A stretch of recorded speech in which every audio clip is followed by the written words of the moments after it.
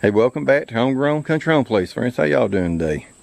Well, y'all, I'm gonna show y'all what I've been doing here. Um, my brother, he came down from Tennessee to see us there, and uh, like I said in an earlier video, he's gonna bring me some wood, and uh, he brought me some sycamore logs and some walnut logs.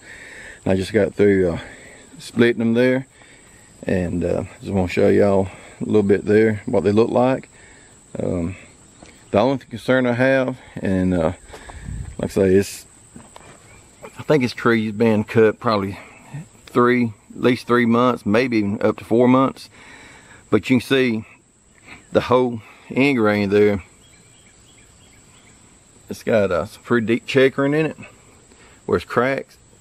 And um, so I'm not really sure how that's going to affect me right there. If you know, as far as making bowls out of these, uh, I know you can put epoxy and glue to seal some of it but I'm not sure how it's going to turn out once once I you know start uh, trying to turn uh, these blanks here. But if anybody's got any suggestions, any uh, experience with uh, turning bows that sees this video, I appreciate if y'all leave me a comment down below and let me know uh, are these going to be you know usable uh, or if they are what, exactly what I need to do, you know what steps I need to take to uh, actually use this uh, wood. Now some, some of the wood you see right there it's not quite as bad on the uh, cracks and checkering. It's just some of these up here is a lot worse and uh, so I know I'll be able to use some of it and some of it you know I'm not so sure about to be honest with you. So that's why I was wanting to get a uh, you know recommendation from some of y'all that's done this before and uh, like I say like that piece right there is that just a completely useless piece? Would it be uh, not really worth any messing with?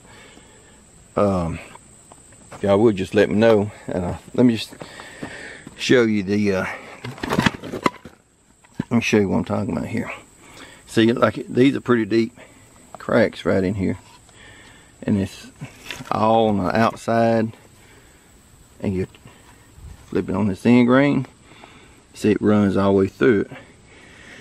So besides putting say some epoxy something like that you know that's the only thing I'd I would know to do and maybe use it that way.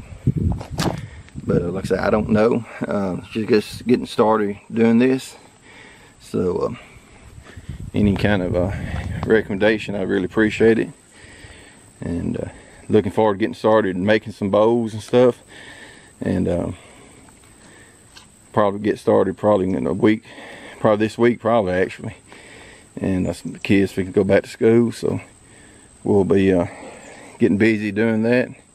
I'll be bringing y'all along on some of that showing what I'm doing. And uh, appreciate y'all watching y'all and always from my family to yours y'all have a blessed day. We'll see you later. Bye bye